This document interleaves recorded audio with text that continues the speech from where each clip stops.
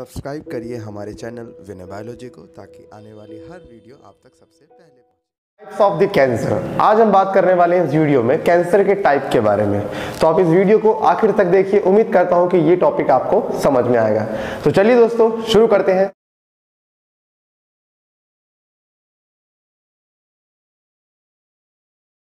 Hello दोस्तों, मेरा नाम है विनय और आप देख रहे हैं मेरा यूट्यूब चैनल विनय बायोलॉजी। दोस्तों, जब हम बात करते हैं टाइप्स ऑफ़ कैंसर के बारे में तो यहाँ पर हम बेसिकली दो टाइप के बारे में बात करते हैं। एक होता है मेलिग्नेंट कैंसर एक होता है नॉन मैलिग्नेंट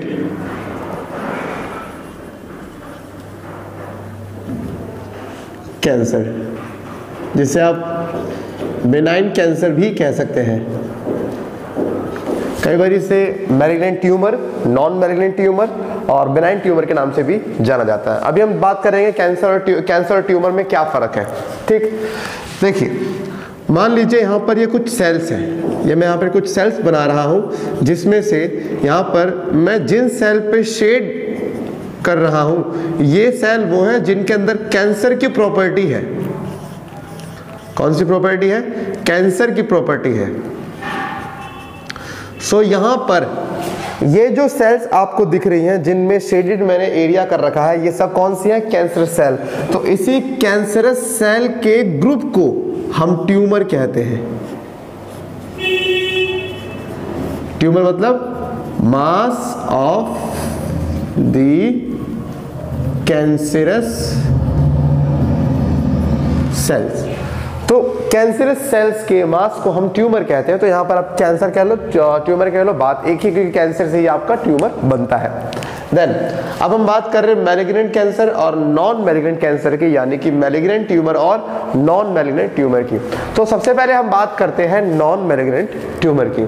फिर इसके हम नेक्स्ट वीडियो बात करेंगे किसके? मैलिग्नेंट कैंसर या ट्यूमर की।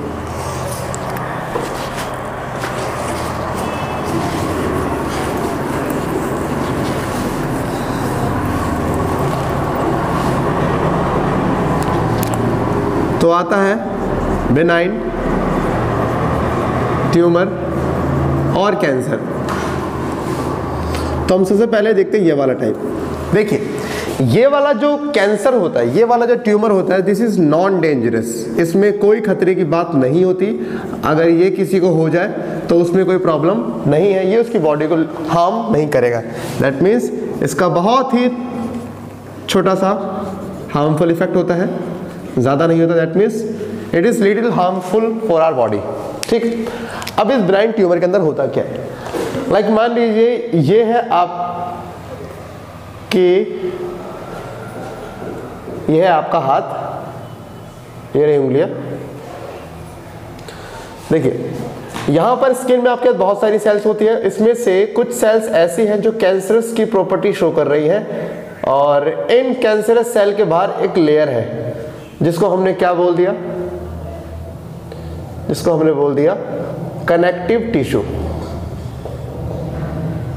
this is connective tissue surrounding the cancer cells अब होता क्या है? अगर ये कैंसर बॉडी के एक पार्ट में है तो दूसरे पार्ट तक चाहकर भी नहीं फैल सकता। क्योंकि कैंसर अगर दूसरे बॉडी पार्ट तक फैलता है, इसका मतलब यहाँ के कैंसर सेल सेल यहाँ से निकलकर कहा जाते हैं? ब्लड या लिम्फ में, ब्लड या लिम्फ के थ्रू ये सेल अगर बॉडी के किसी दूसरे पार्ट तक गए तो वहाँ क्या हो जाएगा? वहाँ उसे कैंसर हो जाएगा। ठीक है? दैट मीन्स यहाँ पर क्योंकि सारे के सारे कैंसर के सेल एक कनेक्टिव टिश्यू के अंदर पैक्ड है, इसीलिए यहाँ पर एक कैंसर सेल बॉडी के दूसरे पार्ट तक नहीं पहुँच सकते। इसीलिए यहाँ पर हमें कैंसर सिर्फ़ बॉडी के एक ही पार्ट पर मिलेगा। और कैंसर का बॉडी के एक पार्ट से दूसरे पार्ट तक फैलना, इसको हम कहते हैं मेटास्टेसिस। मेटास्टेसिस, एक टर्म आती है व्हाट इज़ मेटास्टेसिस तो यहाँ पर हम बोलेंगे, कैंसर का बॉडी के एक पार्ट से दूसरे पार्ट तक फैलना, ये मेटास्टेसिस कहलाता है। और अगर कोई कैंसर मेटास्टेसिस शो करता है, यानी कि वो बहुत ज़्यादा डेंजरस है मोस्ट डेंजरस कैंसर क्योंकि यहाँ पर बेनाइन ट्यूमर कोई मेटास्टेसिस शो नहीं करता, इसीलिए आपके लिए ज़्यादा डेंजरस नहीं है। बॉडी के जिस पार्ट में कैंसर होगा, वहीं रहेगा, उसके अलावा बॉडी में कहीं और नहीं जाने वाला। ठीक है?